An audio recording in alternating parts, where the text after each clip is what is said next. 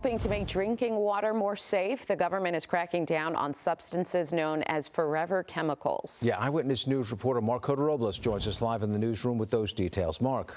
John, Rachel, good morning. It is just being announced this morning. This will be the first ever national standard to limit some types of forever chemicals in our drinking water, also known as PFAS. These forever chemicals are chemicals that don't break down or break down very slowly. They're found in numerous industrial and personal products. This morning, the Environmental Protection Agency, the EPA, set to announce the new rule that will reduce PFAS exposure for approximately 100 million people. And the focus is going to be on drinking water under the plan water systems will have three years to monitor their PFAS levels and an additional two years to adopt new technologies if needed to reach compliance.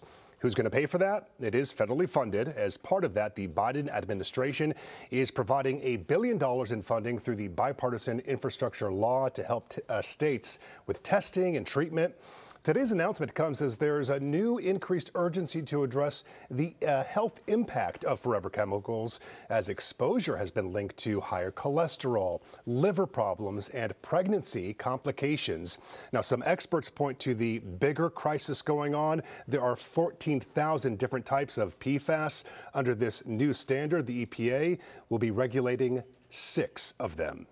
Hello, I'm Marc Brown. Get more great ABC7 content by clicking the subscribe button for our YouTube channel and download the ABC7 Los Angeles streaming app on Fire TV, Android TV, Apple TV, and Roku to watch on your TV.